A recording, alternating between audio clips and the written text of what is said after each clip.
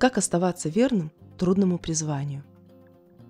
В своем первом послании апостол Петр пишет «Служите друг другу, каждый тем даром, какой получил, как добрые домостроители многоразличной благодати Божьей. Говорит ли кто? Говори как слова Божьи. Служит ли кто? Служи по силе, какую дает Бог, дабы во всем прославлялся Бог через Иисуса Христа.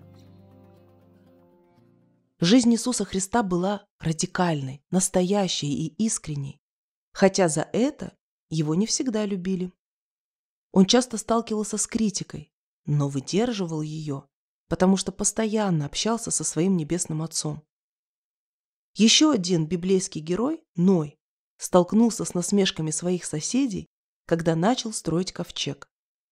Многие из пророков Ветхого Завета выглядели очень странно из-за необычных вещей, которые Бог просил их делать.